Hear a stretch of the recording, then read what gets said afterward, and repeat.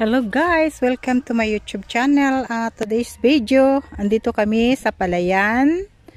Yan. Yan yung palayan. Palayan namin. Sagdi. Yan to, bahay ng mama ko. Yan, dito yung ano, palayan. At ngayon guys, lulusob ako dyan sa palayan. Ah, uh, eh, eh ano ko ipakita ko sa inyo kung paano magtanggal sa mga mga damo diyan sa palayan. kung tawagin sa Bisaya ay kamot. Ayan guys. At kasi unang-una diyan talaga araro then ano tortol then tanim at ngayon kasi mana, tapos na yung nagtanim, ito na yung mga porma sa palay. Ayan, mag, mag ano na naman, magbubunot na naman ng damo. Pero sa tingin ko parang tapos na nila nabunutan to. Pero ipakita ko lang sa inyo kung paano magbunot ng damo. Ayan guys. Lulusob ako dito. Yan. Yan. Nung una guys, nung Itatanim pa lang ganito siya. Ito mayroon pa oh. Marami pa ito. Ito siya. At yan, itatanim. Marunong din, din ako guys. Kasi ano, yan yung buhay namin dati. Nung maliliit pa kami. Ayan.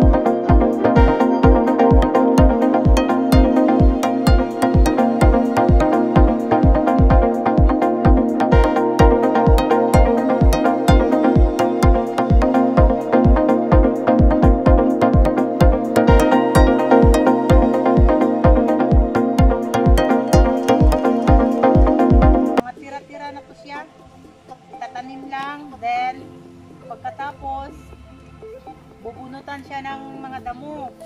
Parang hindi kakapit dito, parang maganda yung tubo niya. Lagyan ng abono. Pagkatapos, hanggang sa mamunga siya. At ayun na. Yun na yung ano, yung hanggang sa magbunga na siya. Ganito na yung resulta. Ito, malinis na to siya guys. At yun oh, putik ko na. At punta ako sa ano, sa balon maghugas. I-ikuan mo na. So guys, oh, may taal, may kalabaw, oh. Dati kasi inaararo yung mga basak. Ngayon, nasa turtle na lang siya.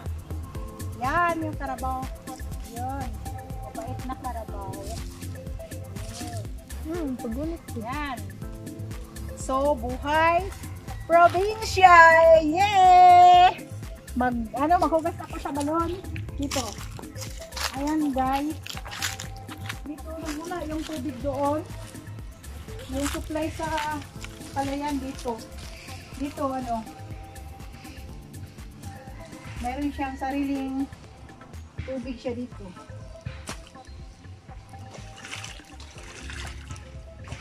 Kaya lang, ayan, puti ko na guys. Ini-explain ko lang kung ang buhay namin sa probinsya. Ganon yung buhay namin sa probinsya.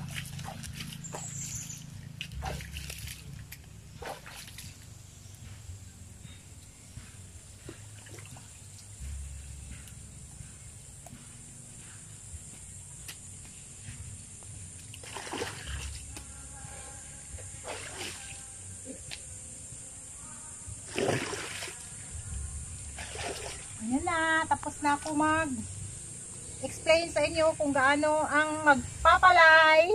Kaya hanggang dito na lang. At hanggang sa sunod na video. Bye bye, see you on my next video. Off na.